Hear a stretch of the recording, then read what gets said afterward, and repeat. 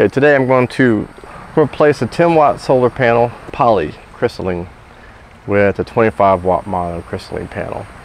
Um, this is for a simplex repeater setup and the 10 watt just doesn't do enough in low level lighting and stuff to give me a charge I need.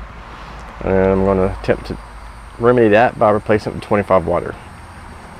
Real quick, this 10 water is a HQST and hopefully you can see here that it is a um, uh, glare. Get out of the way. Uh, what we got here? 10 watt open circuit voltage is 21.5 volts. Amperage 0.62 is maximum. Uh, operating current optimum operating current 0.578 okay this one is made by somebody called Power Eco. Not too familiar with them but the price is right. So this mo critter here, whew, it has, I'm gonna have to move this thing so I can see a little bit. My eyes are whitewashed now. Okay, 25 watts, uh, peak circuit voltage 22.6. Um, and it says max power current is 1.39 amps short circuit current 0.49 amps, 1.49 amps. So, uh, since we got them on the back side, let's look at real quick at the uh, difference in the, the junction boxes. HQST is a full-size box, and it's much smaller on this model here. Um, but we'll do the job. We'll see. Uh, one more difference in these two is the length of the cable. I hooking this straight to charge controller, so I don't, I didn't want the MC connectors on it. I actually prefer not having it. But if you can see, the HQST has a much longer cord. Could come in handy. Also, this is tinned.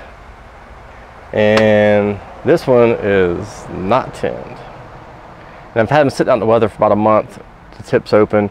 It's got a little bit of weather damage on there.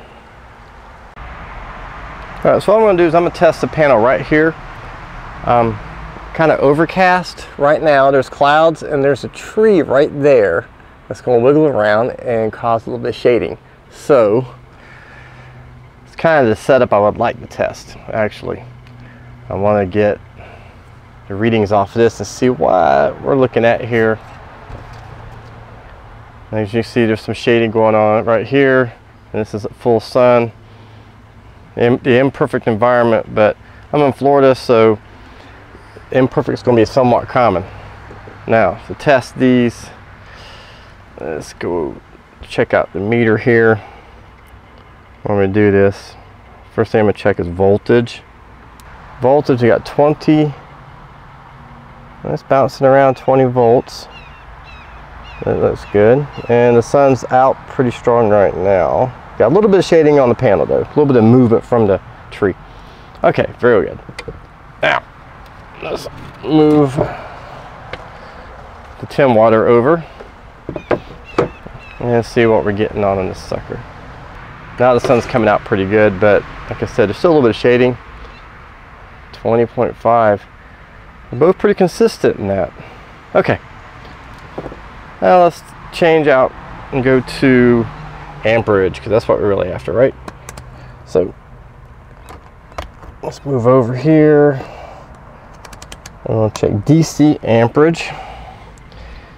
And since we got the 10 watt in place, we'll go ahead and check it while we're here. 10 watts looking at 0.47, 0.45,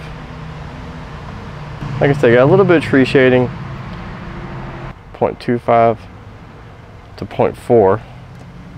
Move it out of the way. Actually, you know what? I'm gonna put it full sun real quick and see what does in full sun.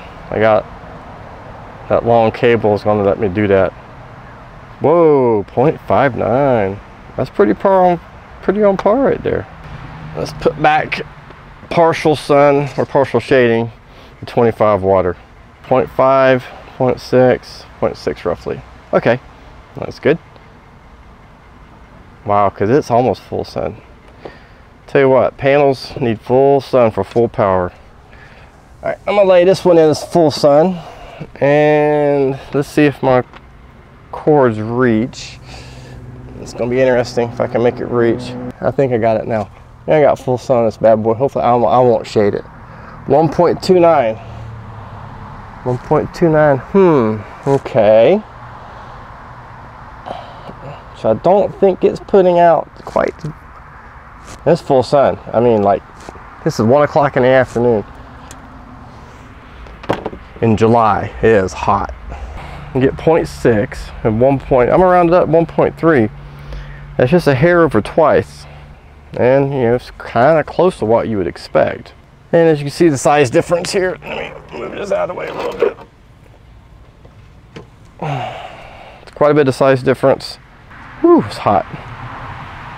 The Eco Power, Eco, the Power Eco is also a lot heavier. So it looks like the performance characteristics of both styles is pretty similar. They both drop pretty hard with partial shading. They're putting out close to specs in full sun. The Eco might work. It's going to give me pretty much twice the power. The HQST is two years old. That may play a factor in it, but it seemed to be putting out good power. And the, Eco, the Power Eco is brand new. That might be enough to take care of my pro charging problem, give me twice the power. Also the price difference. Two years ago, the HQST, I believe, was in the order of 26 $27. And the Power Eco was 28 or 29 So about the same price, but you know, two-year time difference shows how much cheaper solar has continues to fall in price, and that's a good thing. Well, thank you for watching. Hopefully this will be a little helpful if you're trying to figure out what you, uh, what you need in a small solar panel.